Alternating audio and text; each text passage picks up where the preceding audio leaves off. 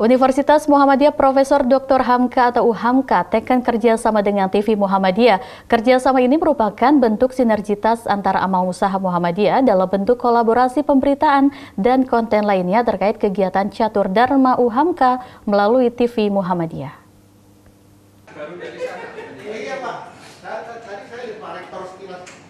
Penandatanganan kerjasama antara UHAMKA dan TVMU berlangsung di ruang Rektorat FKIP UHAMKA Jakarta Timur. Prosesi kerjasama dilakukan dengan beberapa sambutan baik dari UHAMKA yang dipimpin langsung oleh Rektor UHAMKA Gunawan Suryo Putro dan TVMU yang dipimpin langsung oleh Direktur TVMU Makrun Sanjaya. Prosesi kerjasama antara UHAMKA dan TVMU dilakukan secara simbolis antara kedua belah pihak, yakni dengan melakukan penandatanganan nota kesepahaman yang dilakukan oleh Rektor UHAMKA Gunawan Suryo Putro dan Direktur TVMU Makrun Sanjaya. Selain itu, sebagai resminya kerjasama antara UHAMKA dan TVMU Cendramata diberikan untuk Rektor UHAMKA Gunawan Suryo Putro, yakni dengan diberikannya satu buah jaket bertuliskan logo TVMU dan Persyarikatan Muhammadiyah. Rektor UHAMKA Gunawan Suryo Putro mengatakan bersyukur telah terlaksananya kerjasama antara UHAMKA dan TVMU. Menurut Gunawan, kerjasama ini nantinya dalam bentuk kolaborasi pemberian dan konten terkait dengan kegiatan catur Dharma Uhamka melalui televisi Muhammadiyah. Gunawan berharap dengan dilakukan kerjasama ini, warga Persyarikatan Muhammadiyah bisa mengetahui perkembangan terkait pendidikan, kemahasiswaan, dan prestasi Uhamka. Hari ini UHAMKA melakukan kerjasama dengan TVMU dengan menandatangani uh, perjanjian kerjasama yang isinya uh, eh, UMK akan uh, berkolaborasi dalam uh, pemberitaan yang terkait dengan kegiatan catur dhamma UMK melalui TVMU.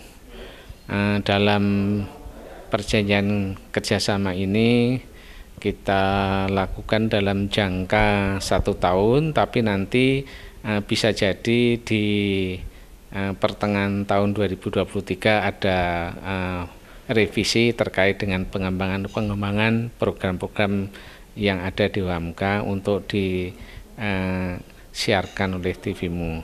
Uh, program-programnya apa saja? Tentu yang pertama uh, terkait dengan pendidikan dan pendidikan dan pembelajaran. Bagaimana proses proses pendidikan dan pembelajaran yang ada di UAMK itu bisa disebarluaskan melalui TVMU kreativitas-kreativitas dosen, inovasi dosen dalam bidang pembelajaran. Yang kedua di bidang riset uh, dan inovasi yang telah yang dilakukan yang akan dilakukan oleh uh, dosen dan suamka lalu pengabdian masyarakat yang terpenting juga dakwah yang ada di WAMKA melalui program-program Alisam Kemuhammadihan. Jadi eh, catur dhamma inilah nanti yang eh, kita lakukan eh, dan kita kerjasamakan dengan TVMU.